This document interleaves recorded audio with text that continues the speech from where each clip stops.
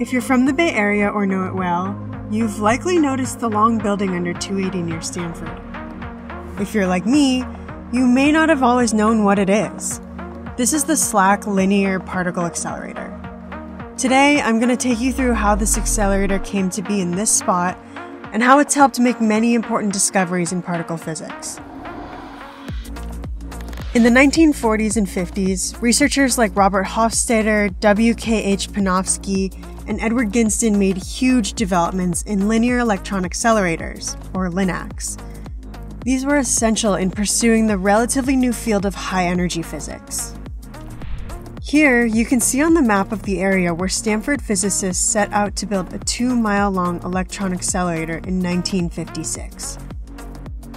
It was called M for Monster, poking fun at its ambitious size. At the time, it was the biggest US government funded science project. In 1964, US Atomic Energy Commission Chairman Glenn T. Seaborg said that high energy physics is one of the leading intellectual developments of our age. It is not only very exciting, but experimentation in this field will probably lead to some of the most important theoretical and perhaps then the most practical developments of our age. SLAC's LINAC was completed in 1966, and in May of that year, its first electron beams bounded through the tunnel. The accelerator sped up electrons to nearly the speed of light, which helped them achieve huge amounts of energy. The electrons were smashed into targets in the building on the right, and their results were captured by large detectors. Richard Taylor co led the team that designed these experiments, which would go on to reveal signs of an inner structure within the protons and neutrons that make up the atomic nucleus. This work was crucial to other major discoveries both at SLAC and other labs beyond. Richard Taylor and his collaborators over at MIT, Jerome Friedman and Henry Kendall, went on to share the 1990 Nobel Prize of Physics. You can see them together here. While the LINAC was a huge step for experiments that used fixed targets, physicists were also looking for other ways to work. You can see their solution here a figure 8 beam storage ring on Stanford's campus that would be able to generate collisions with increased energy by colliding positrons and electrons head on. Encouraged by these experiments, SLAC scientists proposed adding a circular ring at the end of the LINAC to create these head on particle collisions.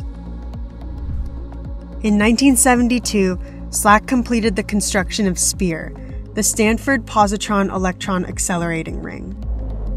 And right away, the project started colliding its high energy beams into one another in an attempt to discover new subatomic particles. In 1974, SPEAR scientists found an inconsistency in the data, but it wasn't just a glitch or an error. It actually turned out to be evidence that their collisions had discovered a new subatomic particle. Pretty nuts.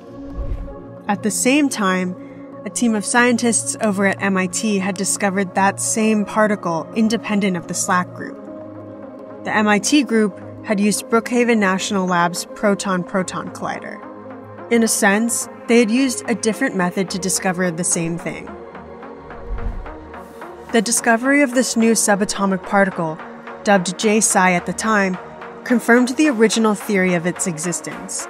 Today, the particle has been renamed a charmed quark.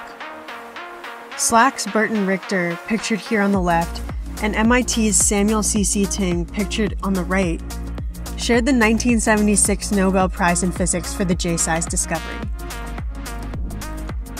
SLAC researchers kept improving their particle colliders, building several more to continue their research on particle physics and improve the ways we understand accelerators and particle collisions.